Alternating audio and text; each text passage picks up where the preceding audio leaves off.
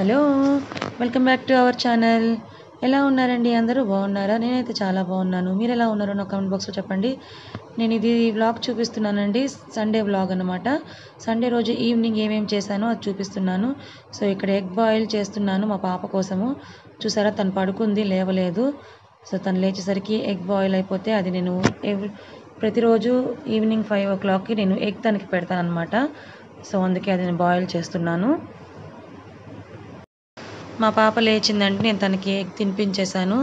Egg white మాత్రమే ఇస్తాను yellow ఇవ్వను. ఎందుకంటే తను ఇంకా టూ ఇయర్స్ బేబీయే కదా. సో తనకి డైజెషన్ అవ్వదు. అందుకని నేను ఓన్లీ ఎగ్ వైట్ ఇస్తాను. ఇక్కడ నేను చికెన్ పలావ్ చేద్దామని చికెన్ తీసుకున్నాను. చికెన్ శుభ్రంగా కడుక్కున్నాను. ఇందులోకి నేను సాల్ట్ ఇక్కడ నేను చికెన్ సెవెన్ హండ్రెడ్ గ్రామ్స్ ఏడు వందల గ్రాములు చికెన్ తీసుకున్నానండి. సో ఇందులో రుచికి సరిపడా సాల్ట్ అలాగే కొద్దిగా పసుపు టూ టేబుల్ స్పూన్స్ కారం అలాగే ధనియాల పొడి one tablespoon garam masala వేసాను అలాగే అల్లం వెల్లిపాయ పేస్ట్ కూడా వేసుకుంటున్నాను. ఇది మొత్తం బాగా మిక్స్ చేసుకోవాలి. అలాగే ఇందులో పెరుగు కూడా యాడ్ చేసుకున్నానండి. పెరుగు వచ్చేసి పుల్లటి పెరుగు యాడ్ చేసుకున్నాను. ఇదివరకు కూడా మీకు చెప్పాను కదా మన బిర్యానీలో కానీ పలావ్లో కానీ పుల్లటి పెరుగు అయితే చాలా చాలా టేస్టీగా ఉంటుంది. సో నేను పెరుగు కూడా వేసి మొత్తం బాగా కలుపుకున్నాను. దీన్ని ఒక వన్ అవర్ పాటు ఫ్రిడ్జ్లో మ్యాగ్నెట్ చేసి పెట్టుకుందాము.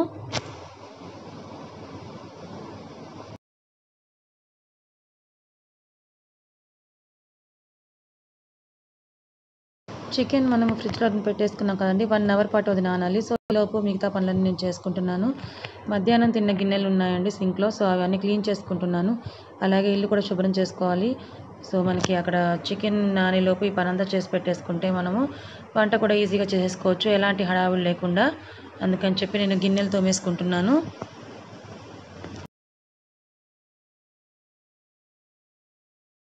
గిన్నెలు తోముకోవడం అయిపోయింది. అలాగే ఇల్లు కూడా శుభ్రం చేసుకున్నాను. ఇక్కడ స్టవ్ మీద గిన్నె పెట్టి మా పాప కోసం పాలు వేడి చేస్తున్నాను.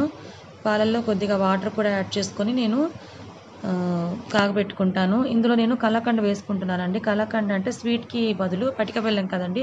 కలాకండ్ అని మనకి షాప్లో దొరుకుతుంది కదా. సో అది నేను చక్కెర వేయను. ఎందుకంటే వీళ్ళకి ఇప్పుడే చక్కెర అవి అలవాటు చేస్తే సో వీళ్ళకి జలుబు అనేది త్వరగా చేస్తుంది. అందుకని నేను కలాకండే యూస్ చేస్తాను. సో పాలు పొయ్యి మీద పెట్టేశాను కదా ఇప్పుడు నేను ఆల్రెడీ చికెన్ని మ్యాగ్నేట్ చేసి పెట్టుకున్నాను. సో ఇప్పుడు ఇందులో నేను ఉల్లిపాయలు పచ్చిమిర్చి కట్ చేసుకుంటున్నాను. సో మీతో మాట్లాడుతూ కట్ చేస్తాను ఓకేనా? సో ఉల్లిపాయలని కట్ చేస్తూ నేను కనిపించాలి అంటే కొద్దిగా కష్టం అవుతుంది. సో అందుకని కొద్దిసేపు నన్ను భరించండి మీరు ఓకేనా? చెప్పాను కదా నేను చికెన్ పలావ్ చేస్తున్నానని. సో ఇది ఈవినింగ్ అనమాట ఆల్రెడీ మార్నింగ్ నేను ఆల్మోస్ట్ చికెన్తోనే అయిపోయింది ఈ రోజంతా నాకు. పాలు పొంగొస్తున్నాయి ఒక్క నిమిషం. స్టవ్ ఆఫ్ ఆఫ్ చేయలేదు సిమ్లో పెట్టాను. ఎందుకంటే బాగా కాగాలి చిన్నపిల్లలకి పెట్టే పాలు కదా. సో అందుకని పాలు చూసారా? సిమ్లో పెట్టినా కూడా ఎందుకంటే ముందు హైలో పెట్టా. మళ్ళీ స్టవ్తో నాకు పని ఉంటుంది. ఆల్మోస్ట్ టైం వచ్చేసి మీకు ఇక్కడ కనిపిస్తుందా? సెవెన్ థర్టీ అయింది సో అందుకని హైలో పెట్టి అవి పొంగిన తర్వాత సిమ్లో పెట్టాను. ఇక్కడ ఉల్లిపాయలు కట్ చేసుకుంటున్నాను. సో చికెన్ తోటి మనం చాలా వెరైటీస్ చేసుకోవచ్చు. కోర్స్ చేస్తూనే ఉంటారు. ప్లేట్ తీసుకోవడం మర్చిపోయా ఒక్క నిమిషం. ప్లేట్ తీసుకుంటా. ప్లేట్ తీసుకున్నాను. ఉల్లిపాయలు కట్ చేస్తున్నాను. సన్నగా. సన్నగా అంటాం కానీ ఏదో మనకు వచ్చినట్టు. మా అమ్మ ఒక మాట అంటూ ఉంటుంది. ఉల్లిపాయలు కట్ చేయడం నీ దగ్గర నేర్చుకోవాలి అని అంటే గొప్పగా కాదు ఎటకారంగా ఎందుకంటే నేను సరిగ్గా కట్ చేయనని మా అమ్మ ఫీలింగ్ ఆల్మోస్ట్ నిజమే అనుకోండి. ఎందుకో నాకు సన్నగా కట్ చేయడం రాదు. పర్వాలేదు ఇప్పుడు సన్నగా కట్ చేస్తున్నానులే. ఎందుకంటే సపో అది ఒకటి పెట్టి చాప్ బోర్డ్ పెట్టి దాని మీద కట్ చేస్తున్నా కదా సో వస్తూనే ఉందంటే ఉల్లిపాయలని కట్ చేస్తున్నాను కదా. పర్వాలేదు సన్నగానే కట్ చేస్తున్నాను. ఇక్కడ చికెన్ గురించి చెప్తున్నాను కదా చికెన్ చాలా వెరైటీస్ చేసుకోవచ్చు అండి చికెన్లో. కానీ ఇవాళ రేపు ఏంటంటే చాలామంది భయపడుతున్నారు. నేను మొన్న బయటికి వెళ్ళాను. బయటికి వెళ్ళినప్పుడు మా పా మా పాపకి ఎగ్స్ అయిపోయాయి. సో మా పాపకి నేను రోజు డైలీ ఎగ్స్ రోజుకొకటి ఉడకబెట్టిస్తా. ఓన్లీ బయట బయటే లోపలిది అది పెట్టను. ఇగో సన్న ప- సన్ సారీ పచ్చిమిర్చి సన్నగా కట్ చేసుకుంటున్నాను. కొంచెం మాటలు తడబడుతున్నాయి. ఎందుకంటే ఇలా ఫస్ట్ టైం మాట్లాడుతూ వంట చేస్తున్నా కదా సో అందుకని అనమాట ఇక్కడ చూసారా పచ్చిమిర్చిని సన్నగా కట్ చేసుకుంటున్నా జాగ్రత్తగా. ఎందుకంటే నాకు నైఫ్తో కట్ చేయడం రాదండి. సో చాప్ చాప్ బోర్డ్ మీద కాబట్టి ఈజీగా కట్ చేస్తాను. కత్తిపీటతో అయితే నేను కంఫర్ట్గా ఫీల్ అవుతా. బట్ ఇప్పుడు కత్తిపీటతో మీ ముందు పెట్టుకొని కూర్చొని కష్టం కదా సో అందుకని చెప్పి ఇలా చేస్తున్నా. అడ్జస్ట్ అవ్వండి. నేను అవ్వాలి అడ్జస్ట్. నన్ను చూస్తూ మీరు అడ్జస్ట్ అయిపోండి ఓకేనా? సో ఏం చెప్పానంటే సో వెల్ ఎగ్స్ తీసుకుందామని అనుకున్నాం కదా. ఆ షాప్లో చూస్తే చికెన్ రేట్ వచ్చేసి ఫిఫ్టీ రూపీస్ ఉంది.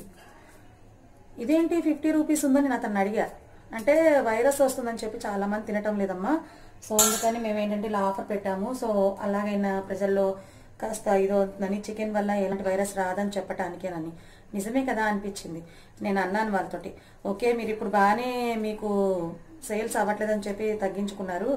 కానీ రేపు మళ్ళీ ఈ తర్వాత ఈ వైరస్ సర్దు సర్దుమణిగిన తర్వాత మళ్ళీ మీరు పెంచేసి మళ్ళీ మానెత్తి మీద వేస్తారు కదంటే అతను నవ్వాడు. ఏం చేస్తామమ్మా తప్పదు.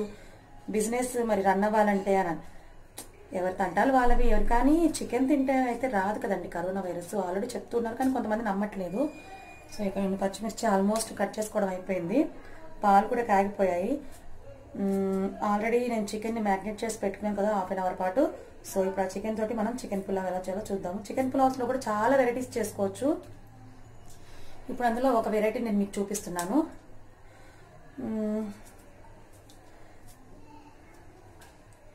మరి పచ్చిమిర్చి ఎక్కువ కోసేస్తాను. నేను గా మసాలా అనేది ఎప్పుడు ఎక్కువ వేయను. అందులోని ఇది సమ్మర్ మన మసాలా ఎంత తక్కువ తింటే అంతే మంచిది.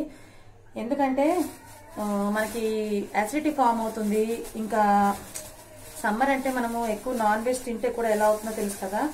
సో కానీ మా ఇంట్లో వాళ్ళకి ఇష్టము. అండ్ అది కాకుండా నాకు కూడా చాలా ఇష్టము. కానీ చాలామంది అంటున్నారు ఎప్పుడు చికెనేనా మటన్ కూడా పెట్టొచ్చు కదా? అని ఆ, పెట్టొచ్చు పెట్టకూడదని కాదు. కాకపోతే ఏంటి అంటే మటన్ వచ్చేసి నేను తినను. నేను తినను కాబట్టి ఎక్కువ తేరు మా ఇంట్లో వాళ్ళు. నిజమే అది. సెల్ఫిష్ నేను తినను కాబట్టి వాళ్ళు తేరు వాళ్ళు తెస్తే నేను ఒప్పుకోను. అప్పుడప్పుడు తెచ్చుకుంటారు తెచ్చినప్పుడు కాదన్ను. కాకపోతే ఏంటంటే ఎక్కువ నేను తినను కాబట్టి ఈ ఫిష్ కానీ చికెన్ కానీ తెస్తారు. అందుకే ఎక్కువ మీకు చికెన్లో వెరైటీస్ చూపిస్తున్నాను. ఓకే ఇక నుంచి మీకోసము నేను మటన్ కూడా తెమ్మని చెప్తాను మా హస్బెండ్ని. అది కూడా నేను పెట్టమని చెప్తాను. అండ్ ఇక్కడ వచ్చేసి నేను ఇప్పుడు కొత్తిమీర కట్ చేసుకుంటున్నాను. కొత్తిమీర పుదీనా కూడా సన్నగా కట్ చేసుకోవాలి. ఓకేనా? కొత్తిమీర ఇంత బంచ్ తీసుకున్నాను. సో దీన్ని కడిగి నేను కట్ చేసుకుంటాను. కొత్తిమీర పుదీనా కూడా కట్ చేయడం అయిపోయింది. ఇంత ప్రశాంతంగా ఇప్పుడు ఎందుకు నేను ఇలా మాట్లాడుతూ లైవ్లో మాట్లాడుతూ మీతో అంటే ఇలా మాట్లాడుతూనే వంట చేస్తున్నాను అంటే మా అమ్మాయి లేదు. బయట ఆడుకుంటోంది. సో అందుకని నాకు ప్రశాంతతగా ఉంది. ఎలాంటి డిస్టర్బెన్స్ లేదన్నమాట. అది వచ్చిందనుకోండి దాని గోల దాని ఏడుపు అది కావాలమ్మా ఇది కావాలంటది లేకపోతే నేను చేస్తాను హెల్ప్ అంటది. అది చేసే హెల్ప్కి నాకు అది హెల్ప్ కాదు. మళ్ళీ నాకు పనికి ఇంకో పని యాడ్ అవుతుంది అనమాట సో అందుకని చెప్పి అది బయట ఉంది కాబట్టి నేను ఇప్పుడు మీతో మాట్లాడుతూ ఇలా అన్ని రెడీ చేసి పెట్టుకుంటున్నాను. ఇక ఆల్మోస్ట్ అంతా అయిపోయింది కదా. ఇప్పుడు నేను ఇంకా పలావ్ ఎలా చేయాలో చూపిస్తాను. సో చూసేయండి. పలావ్ నేను రైస్ కుక్కర్లో చేస్తున్నాను. సో నేను స్టవ్ వెలిగించుకొని గిన్నె పెట్టుకున్నాను. ఇప్పుడు ఇందులో ఆయిల్ పోసుకుంటున్నాను. చికెన్ పలావ్ కదా ఆయిల్ కాస్త ఎక్కువే పడుతుంది. మీరు ఆయిల్ బదులు డాల్డా కానీ నెయ్యి కానీ వాడుకోవచ్చు. బట్ నేను మాత్రం ఇక్కడ సన్ఫ్లవర్ ఆయిల్ వాడుతున్నాను. ఆయిల్ హీట్ ఎక్కిన తర్వాత ఇందులో మనం ముందుగా కట్ చేసి పెట్టుకున్న పచ్చిమిర్చి ముక్కలు. మనకి ఇందులో స్పైసీ అనేది మనకి ఘాటు పచ్చిమిర్చి ద్వారా కూడా వస్తుందండి. సో స్పైసీ కాస్త ఎక్కువ కావాలనుకునే వాళ్ళు కారం కాస్త ఎక్కువ యాడ్ చేసుకోవచ్చు. అలాగే పచ్చిమిర్చి కూడా వేసుకోవచ్చు. నేను ఇక్కడ ఇందులో పచ్చిమిర్చి వేగిన తర్వాత ఇందులోనే బిర్యానీ ఆకు అలాగే మసాలా ఇవన్నీ కూడా వేసుకున్నాను. సో మనకు బిర్యానీకి సంబంధించిన మసాలా మొత్తం వేసుకున్నానండి. అదే చెక్క లవంగా జాపత్రి ఇవన్నీ ఉంటాయి కదా అవన్నీ వేసుకున్నాను. తర్వాత సన్నగా కట్ చేసి పెట్టుకున్న ఆనియన్స్ కూడా వేసుకున్నాను. ఇవన్నీ బాగా వేగాలి. ఆయిల్లో ఇవన్నీ బాగా ఫ్రై అయిన తర్వాత ఇందులో నేను అల్లం వెల్లిపాయ పేస్ట్ కూడా వేస్తున్నాను. సో మనం ఆల్రెడీ చికెన్లో కూడా వేసాము కానీ ఇది రైస్కి కూడా పట్టాలి కాబట్టి ఇంకాస్త వేస్తున్నాను. ఇది మొత్తం ఫ్రై అయిన తర్వాత ఇందులో మనం ముందుగా మ్యాగ్నెట్ చేసి పెట్టుకున్న చికెన్ని కూడా వేస్తున్నాను. నేను ఇందాక మీకు చెప్పడం మర్చిపోయానండి చికెన్ మనం మ్యాగ్నెట్ చేసుకునేటప్పుడు బిర్యానీ ఆకు కూడా వేసుకొని మనము అది మూత పెట్టి మ్యాగ్నెట్ చేసి పెట్టుకుంటే ఫ్లేవర్ కూడా మనకి చికెన్కి పట్టి చాలా బాగుంటుంది పలావ్ అనేది. సో ఇప్పుడు నేను ఆ చికెన్ మొత్తాన్ని వేసేసుకున్నాను. గంట పాటు నానబెట్టుకున్న చికెన్ని. అలాగే ఇందులో సన్నగా కట్ చేసుకున్న కొత్తిమీర పుదీనా ఇవన్నీ కూడా వేసుకొని కలుపుకుంటున్నాను. లేదా కరివేపాకు కూడా వేసుకోవాలి. ఇవన్నీ వేసుకున్న తర్వాత మనం మూత పెట్టి ఒక ఐదు నిమిషాలు సిమ్లో మగ్గనివ్వాలి. ఇప్పుడు చూసారు కదా సో మనకి ఇది ఆల్మోస్ట్ ఆయిల్ పైకి తేలుతూ చికెన్ మగ్గిపోయింది. ఇప్పుడు ఇందులో ముందుగా కడిగి ఉంచుకున్న రైస్ ఇందులో వేసుకోవాలి. నేను ఈ రైస్ని నానబెట్టుకోలేదండి సో కడిగి అలాగే వేసేసుకుంటున్నాను. ఇక్కడ నేను సెవెన్ హండ్రెడ్ గ్రామ్స్ చికెన్ తీసుకున్నాను కదా సో నేను ఎయిట్ హండ్రెడ్ గ్రామ్స్ రైస్ తీసుకున్నాను.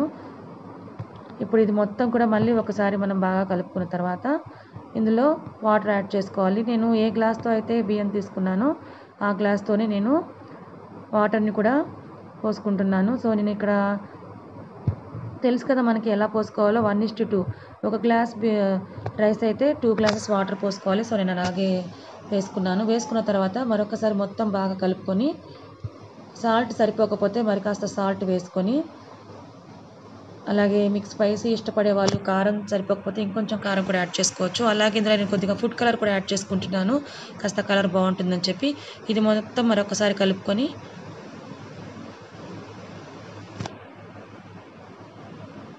స్టవ్ ఆఫ్ చేసుకొని రైస్ కుక్కర్లోకి మనం మార్చేసుకుంటే సరిపోతుంది. సో నేను ఇక్కడ రైస్ కుక్కర్లో పెట్టేసుకున్నాను. స్విచ్ ఆన్ చేసేసాను. అది మనకు ఒక ఫిఫ్టీన్ మినిట్స్లో మనకి పలావ్ రెడీ అయిపోతుంది. చికెన్ పలావ్ రెడీ అయిపోయింది. సో దీన్ని ఒక ఫిఫ్టీన్ మినిట్స్ అలాగే ఆవిరికి వదిలేయాలి. తర్వాత మూత తీసి చూస్తే చూసారా? మనకి ఎంతో టేస్టీగా ఉండే చికెన్ పలావ్ రెడీ అయిపోయింది. ఎంత కలర్ఫుల్గా ఉందో చూసారా? ఇది చూడటానికే కదండి. తినడానికి కూడా చాలా అంటే చాలా బాగుంటుంది.